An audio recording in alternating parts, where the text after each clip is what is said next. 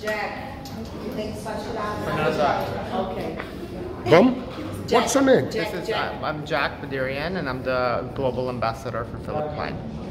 What is your inspiration in the new The, the collection? inspiration is supposed to be very dark, romantic, sexy, and it's uh, part of our couture collection that we created during uh, Oscar Week in LA, in Bel Air, Where are you from? Los Angeles.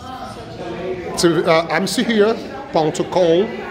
Uh, congratulations. Thank And, you. Thank you. and see there.